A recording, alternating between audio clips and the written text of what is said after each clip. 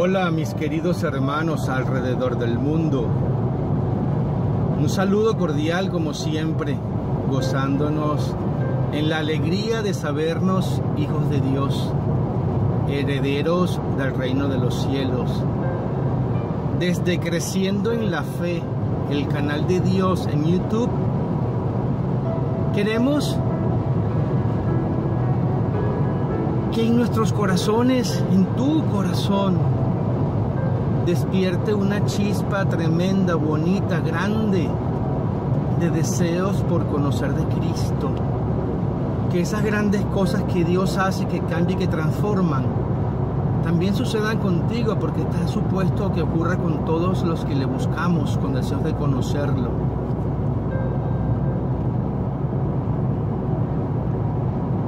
Sí, seguramente que te estás preguntando que para qué conocer a Jesús. Y entonces allí es donde se torna realmente interesante el que podamos seguir todos estos videos, el difícil camino al cielo.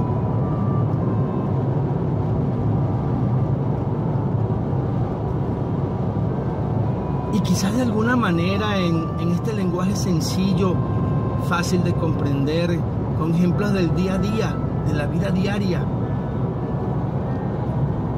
podamos comprender la promesa de Jesús, podamos comprender la razón de su venida.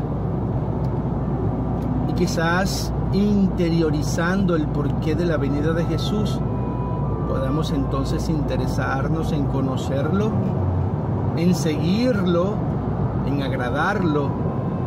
Y todo por un día tener una vida nueva y eterna en la gloria de los cielos, como lo prometió nuestro Señor Jesús, por voluntad del Padre, el Señor de los señores. Mis queridos hermanos, es un camino difícil, ciertamente, y lo dijo el Señor. El camino es estrecho y la puerta es angosta. Pero imagínense ustedes si encima de esa advertencia del Señor entonces también predominara, como predomina en la mayoría, la pereza de interesarnos en conocer a Dios, porque como que lo, lo escuchamos, pero como que no es tan cierto. Es mi mamá la que reza mi abuelita, y yo no, yo no soy rezandero. Y a veces ni siquiera comprendemos, no somos capaces de detenernos a pensar qué es lo que significa ser rezandero ¿Acaso es algo contrario a lo que Dios pide o es lo que Dios pide? Y muchas veces confundimos también que rezar es repetir. El Señor nos invita a orar. Y orar es esa conexión directa que tenemos con Dios para comunicarnos con Él. Es conectar nuestra alma con Dios vale la pena recordar todas las veces que sea necesario hasta que muchos, muchos escuchemos, meditemos, reflexionemos y tomemos conciencia de esta verdad y pongamos en prácticas en cada uno de nuestros días y que lo podamos compartir también con nuestros hermanos e invitarlos sin pena. Dijo Jesús a los doce, esto les digo, si dos o tres de ustedes se ponen de acuerdo para pedir en oración a mi Padre desde aquí, desde la tierra, Él les va a conceder. Porque donde dos o más se reúnen en mi nombre, en medio de ellos estoy yo. Y es una promesa de Jesús, no es una promesa de cualquiera que la va a dejar de cumplir. ¿Y saben qué es lo más difícil? Que nos logremos dar cuenta. Porque obviamente hay una cortina que nos quita la visibilidad de las cosas de Dios y encima un mundo que nos absorbe y nos mete en el día a día. Generalmente algunas personas tienen la suerte de buscar a Dios en esos momentos difíciles. Dios da la oportunidad para buscarlo y entonces al menos hay una oportunidad de encontrar salvación con el arrepentimiento y con el perdón y con la entrega a Dios. No importa en qué momento de nuestras vidas, mientras más temprano ocurra, bendito Dios, será mejor por nuestra propia salvación y será para gloria de Dios cada alma que se salva. Pero de que hay un reino nuevo prometido y una vida eterna nueva prometida, que no haya duda. Mis queridos hermanos, desde Creciendo en la Fe, el canal de Dios en YouTube, queremos que hagamos una familia fuerte para motivarnos unos a otros y poder juntos predicar, repetir, llevar a todas partes la verdad de Jesucristo en un lenguaje que nuestra generación de hoy lo pueda entender. Tenemos que buscar a Jesús porque en Él vamos a tener vida nueva. Él nos hizo y nos perdonó.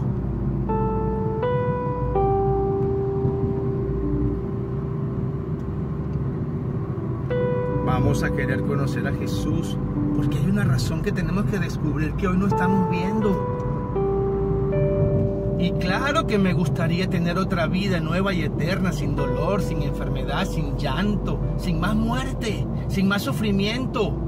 Es la que prometió nuestro Señor Jesús.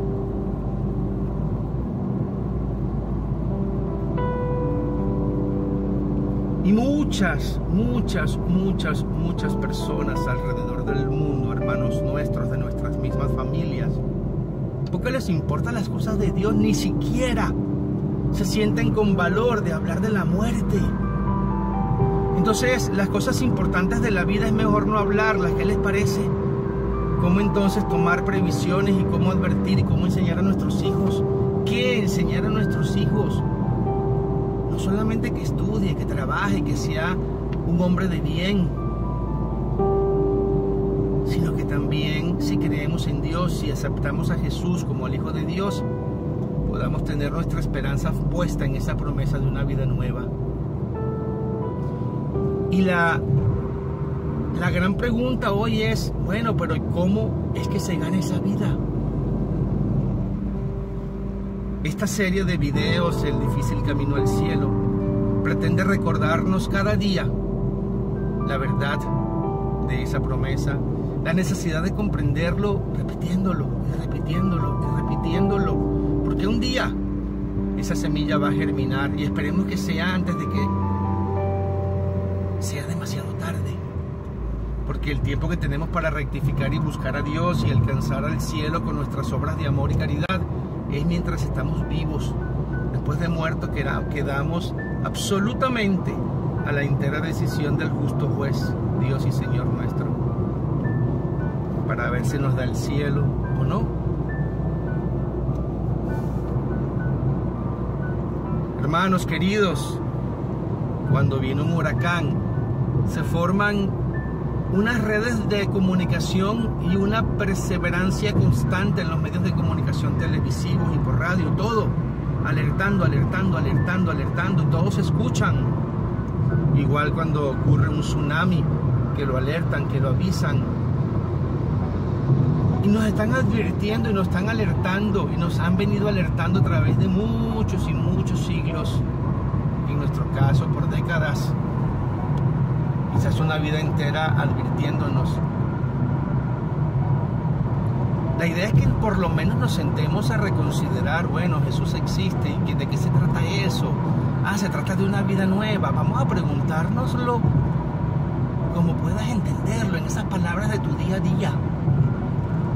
Quizás la respuesta sería sí, ¿sabes qué? Claro que eso es verdad, es un hombre que vivió hace dos mil años y que lo vieron levantarse después de tres días de muerto y que prometió todo lo que está escrito porque lo escribieron aquellos doce que él escogió. Hay cuatro de ellos que escribieron y dejaron plasmado todos los testimonios y milagros de Dios, al menos algunos de ellos, pero sí las cosas realmente importantes porque Dios sabe lo que tiene que quedar escrito por nuestra salvación para comprender qué es lo que pasa después de la muerte. Pero tenemos que comenzar a conocer a Jesús y pedirle a Él que sea Él con su infinito amor quien nos ayude a comprender todo esto, que ni siquiera forma parte de nuestro día a día, pero que tenemos que tomar conciencia de que tiene que ser parte de nuestro día a día. Convencernos por la gracia de Dios y por su inmenso poder de que es una verdad. De que Jesús nos espera en el cielo, sea que nos vayamos adelante o nos encontremos vivos cuando Él regrese. Pero vamos a verlo. Y la promesa va a estar allí, la ganaremos o no, depende de cada uno de nosotros. Para entrar allá hay que agradar a Dios. Y hoy, para hablar de agradar a Dios, yo les voy a citar un pasaje bíblico, un versículo,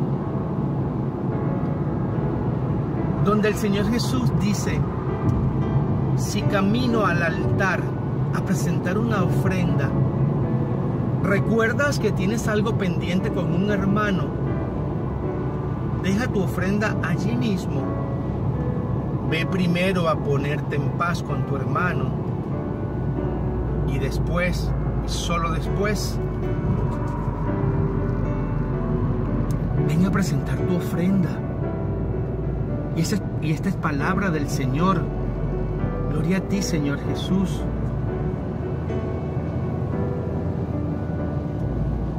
Y si un día esperamos ser parte de aquel reino, hoy es el momento para comenzar a conocer una de esas razones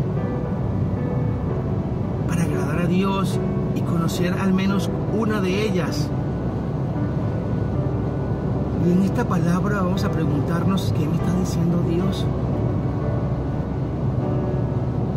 Si te encuentras camino al altar a presentarme una ofrenda, y en ese camino te recuerdas que tienes algo pendiente contra un hermano. Dice el Señor, oye, mejor deja tu ofrenda allí. Ve primero, ponte en paz con tu hermano. Y después ven a presentar tu ofrenda. Yo creo que está muy claro. El Señor quiere que vivamos en paz los unos con los otros.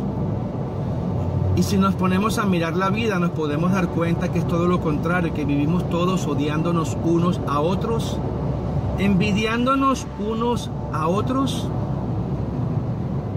tratándonos hipócritamente unos a otros en grandes mayorías, porque esa es la diplomacia, por ser cortés, por ser educado. Porque quien diga que es mentira, qué afortunado es que no lo ha vivido saber que te dan un abrazo, te dan un saludo. Y es por simplemente quedar ante el resto como bien, pero quien puede ver el corazón y Dios lo ve, sabe la pureza de tus actos, la verdad de la sinceridad acerca de tus palabras, de tus acciones, de tus gestos. Y cada vez que no es con amor, y cada vez que es con mala intención, y cada vez que es con deshonestidad y cada vez que es consecuencia de la envidia, porque me cuesta mucho ver mejor a mi hermano, a mi amigo, al todos estén empobrecidos, o prefiero que todos estén sufriendo igual para que entonces todos nos sintamos igual. Y así pareciera que vivimos el mundo, si ustedes se ponen a ver una persona que va de una ciudad a otra, donde consigue posada? ¿Quién le abre la puerta? Andamos por el mundo como si no nos conociésemos, viviendo nuestra vida y resolviendo nuestros problemas y que cada cual resuelva el de ellos. Cuando aprendemos a conocer a Jesús, nos damos cuenta que esa no es realmente la voluntad de Dios. Entonces allí no estamos agradando a Dios, sino que todo lo contrario, Estamos caminando sobre toda la pudredumbre de la ponzoña venenosa del demonio. El egoísmo, la envidia, el rencor, la soberbia, las durezas del corazón, esos, esas expresiones faciales o de la cara que son poco simpáticas o amistosas con la gente con que te encuentras. Por las razones que sean, tormentos, angustias, presiones Esa es la cruz que Dios pide que carguemos. A cada cual le toca una cruz. Él no dijo que el camino era fácil, todo lo contrario, el camino es difícil. Y las alegrías de este mundo las ofreces al demonio para luego que caigas darte la espalda y quedarte en el dolor, en la miseria, en la adicción, en el sufrimiento, en la soledad, en la enfermedad. Porque no escuchamos a Dios y cuántas personas han pasado que luego se arrepienten. Y después del arrepentimiento, bueno, la, reconciliación con Dios y qué bueno, aleluya, gloria a Dios. Pero cuántos quisiésemos que los que vienen no caigan, no tropiecen, no sufran, no atraviesen momentos de riesgo que quizás pudieron haberlos evitado con tan solo escuchar. Pero hermanos, esa es la libertad con que Dios nos hizo. Y por eso nos invita a vivir una vida en humildad, en amor, que entonces así la vida sea realmente más bonita. Hermanos queridos, qué gusto poder compartir con ustedes desde Creciendo en la Fe, el canal de Dios en YouTube. Clamamos a Dios para que desde el cielo desciendan abundantes bendiciones. Que el Señor bendiga tus planes, los de tu familia, y los colme de paz y de infinito amor. A ti, Señor Dios, te lo pedimos en el nombre del Padre y del Hijo y del Espíritu Santo.